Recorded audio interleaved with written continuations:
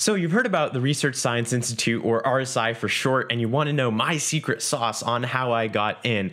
Well, here's a quick disclaimer. One, this is purely an anecdotal experience. You know, I don't know exactly what happened and what goes on behind the scenes when they're selecting applications for RSI. This is purely my experience.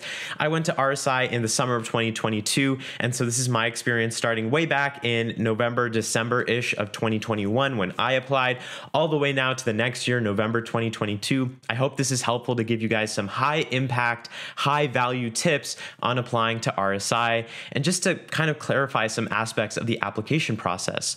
But before I begin, I do want to give a quick shout out to Elizabeth's video. Elizabeth was a fellow 22 alumni, and um, I found out about her video while I was at RSI, and you know, it just it really clarifies a lot of aspects as well of the application process. And so I recommend checking out her video after, of course, finishing watching mine.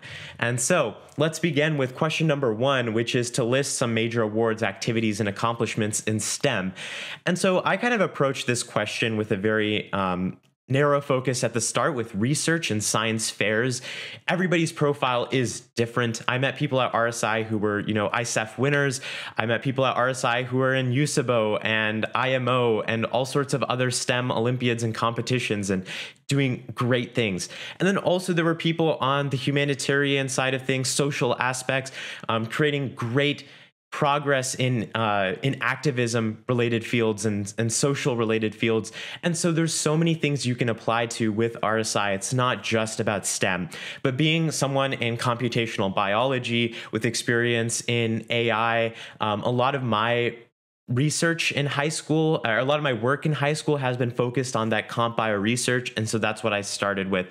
So i listed some awards for my research. These were just some titles that i got um, from winning various science competitions. And I also listed some of the science fairs I competed in. At the time, um, I had competed in the national JSHS competition and I had won first place um, and uh, at the at the national level in the oral presentations. And then also I was a three-time ISEF finalist. I didn't get the results of the, the 2022 ISEF fair by then, um, but I just listed that I was a finalist. And so I had gotten the third grand award the year prior prior and then also I was a Broadcom Masters finalist. So uh, as you can see, just try to give like a general idea of what types of competitions, if you participated any, were. Um, because in the question it does ask for you know Olympiads, academic bowls, math competitions, science fairs. So make sure you are listing those if you've even participated in them. You don't have to have awards because it really does help to show that you have some prior experience in research and you have that potential for at RSI to conduct really high level. Uh, um, graduate level research. And so, in addition to this, in this question, I also talked about some of my science publications.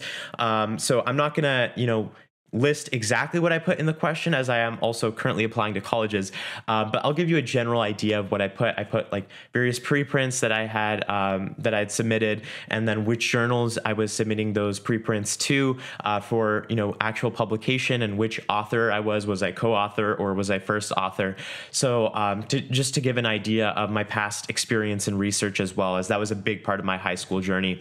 Um, another thing was conferences. If you've participated in you know research conferences publish an abstract or conference paper. That definitely counts as well. That is research, and so you should list it here. Um, I also developed some apps, and so um, these were just kind of like web apps or maybe even mobile apps. List, you know, what you created. Maybe just you don't need to give like a huge description of that because there are places in the essays where you can you know dive deeper into that. But I just listed you know like how many users I had, um, maybe like what type of revenue I was earning to give an idea of the impact I was creating through through my apps. Um, and then also, I wasn't an Olympiad kid. Um, I did take the USABO just for fun one time or twice, but you know, uh, everybody's profile is different. And so there are going to be, I bet, a bunch of Olympiad people watching this video. So I think it's a good idea to also list what Olympiads you did, what scores you got, like whether it was the National Science Olympiad or if it was like USABO, um, Chem Olympiad, uh, Math Olympiad, all Physics Olympiad, all of that stuff. Um, so that was that question. And then the next question um, was kind of about non STEM awards and activities there. And so I talked about really just what I did. This is um, something I guess you should kind of take with a grain of salt because this is literally just my high school experience, and so yours is going to be different. Um, and so mine focused around some leadership, some entrepreneurship, again with some of those apps that I built, um, and then also some volunteer work that I conducted through my nonprofit organization and at some other organizations in my local community. Um, school and district awards and academics. Um, you know, maybe did you receive some kind of honor roll, or uh, now that I'm a senior, I, I have like the um, what is it called? National merit and ap scholar and all of those things. If you have those like earlier on as a junior uh, make sure to list those there as well because those are like non-stem specifically. They're just general academic awards. And then athletics and clubs. Athletics was also a pretty big um, piece of my ecs in high school. I did track um, now my fourth year in track and field and so that was a big part and i listed various clubs i was a part of as well and so now let's get into the core of the RSI application, which I believe is the research. At the end of the day, it is the Research Science Institute, and they're trying to, I think, gauge your experience in research and your potential as a scientist, an engineer, mathematician, or whatever.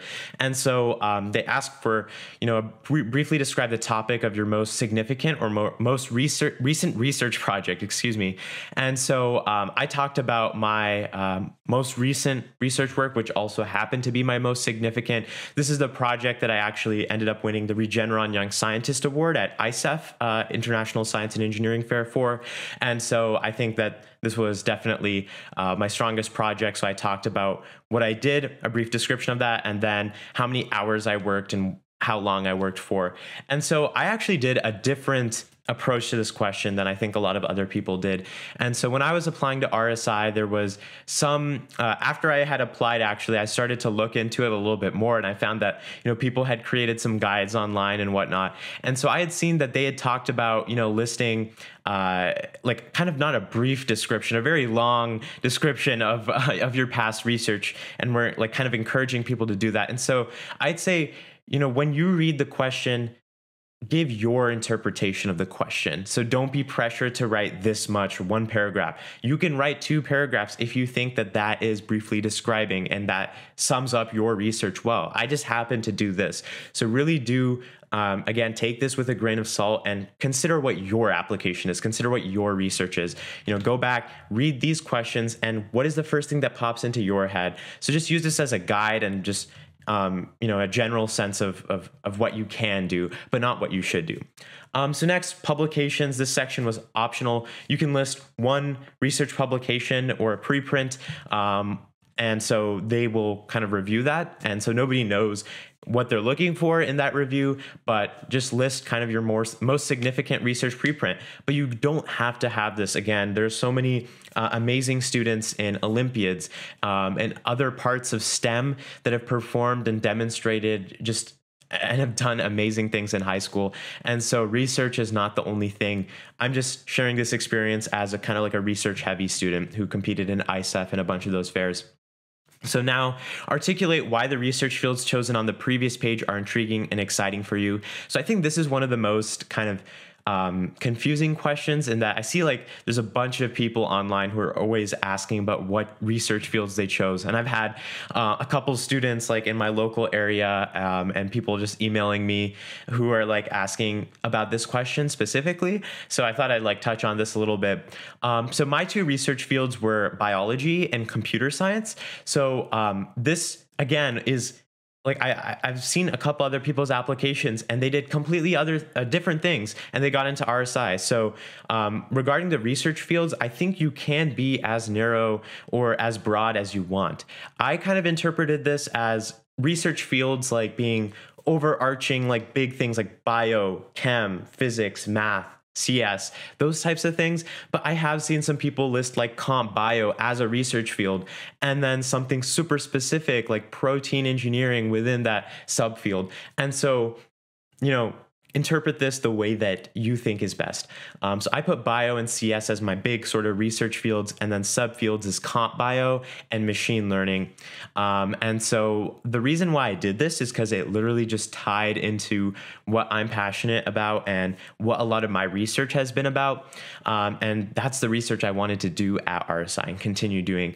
Um, so, what I talked about in this essay was kind of how I got interested in these fields and how that led me to conducting research in those fields. Um, and then I talked about what's most exciting to me. So, it asks about what are one or two of the most interesting questions or problems in that area. Um, at the time, this was really recent to like AlphaFold 2, I think, um, and like amazing innovations happening in, in protein design and protein engineering. And my research was also kind of on gene design, synthetic DNA engineering. And so that was really perfect for me to talk about those interesting questions that I ended up researching and that were also super popular in the field.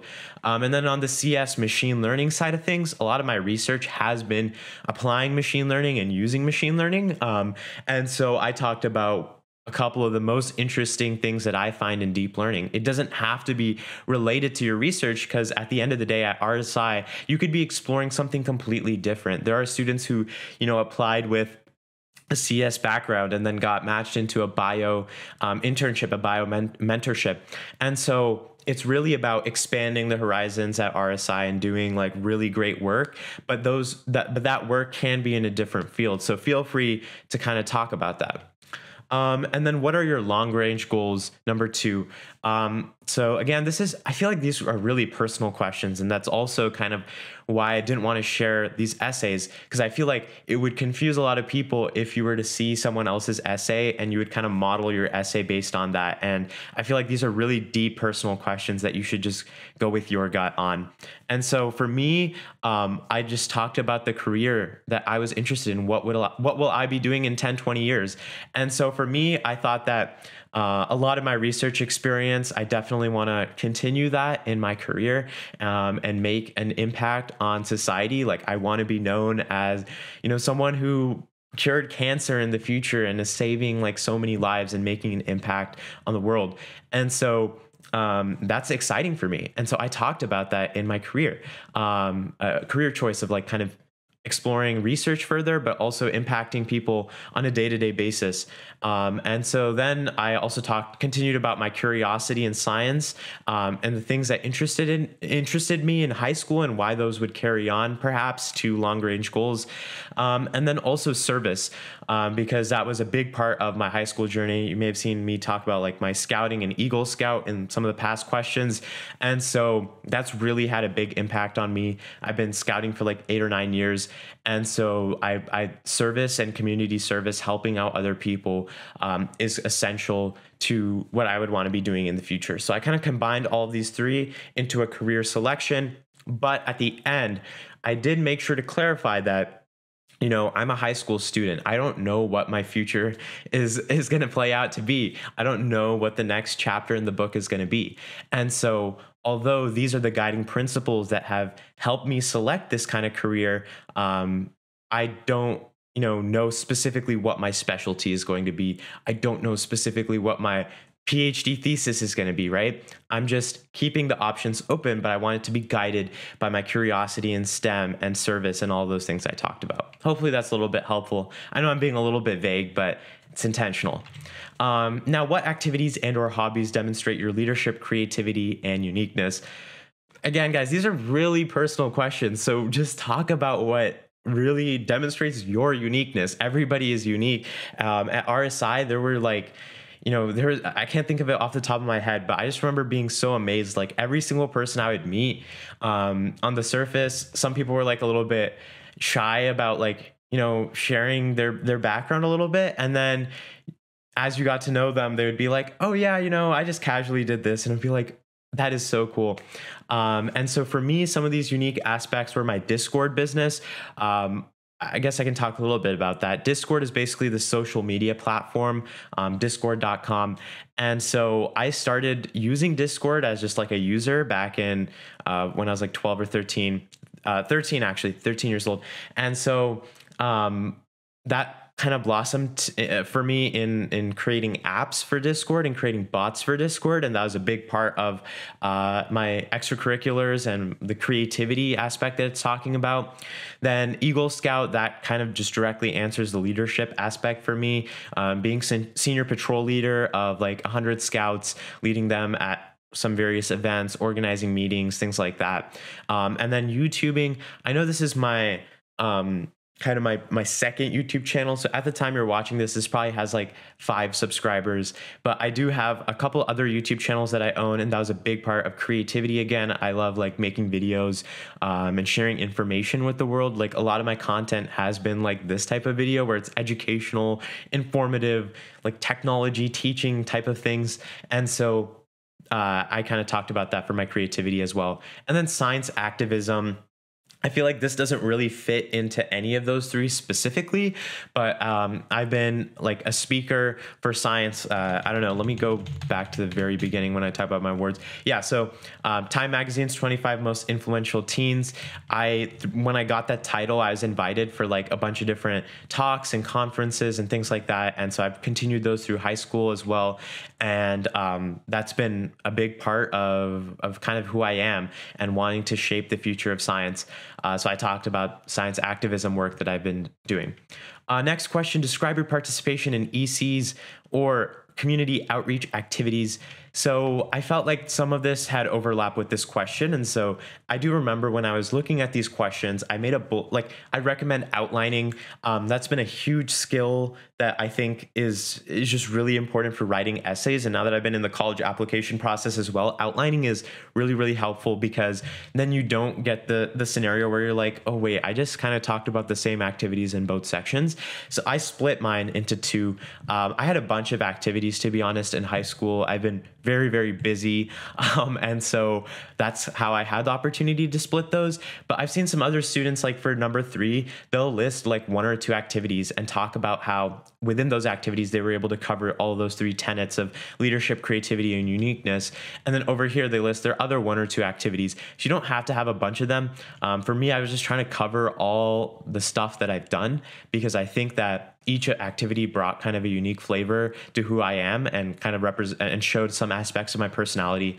And so one of them was speaking, again, kind of linking back to that science activism a little bit. Um, speech and debate um, has been a pretty decent activity of mine. Then there was track and field, again, a big activity. Uh, I spent a lot of time throughout high school training for track. And then scouting again, um, I talked about a different aspect of scouting. So that was more about the service oriented things. Whereas for this question, I talked about the leadership oriented things like um, leading scouts and organizing stuff. Whereas I, here I talked about my Eagle Scout project and community service I participated in. And then singing um, and what I like to do kind of this is more of a fun activity just uh, in, in my free time. I love to sing and I'm part of some choirs. And so, how did you hear about RSI? What aspects most appeal to you, and why did you apply? This is purely anecdotal. I've seen some questions that are like, uh, some responses successful for RSI that are 750 characters or like under. And so, this I wrote closer to 2000 because how I heard about RSI was a little bit um, I guess non-traditional. Like it wasn't through a Google search, it wasn't through one person. It was kind of interesting how I came to know about RSI. I'm not going to share that again because I don't want to mold your response on how you write this question. This is purely anecdotal, and that's all I'm going to say on this. Um, and so those are some of my tips on RSI. Uh, this red circle here is showing Elizabeth, who is part of my counselor group at RSI. If you do get in, I hope you have an amazing experience. Go check out Liz's video, um, which I will link down in the description or comment section below. Feel free to ask any questions below, and I'm going to be happy to answer those. Um, and Okay, Rishab from the future here. I start rambling, so I'm cutting this off. Go watch Liz's video, and thanks for watching. Bye bye.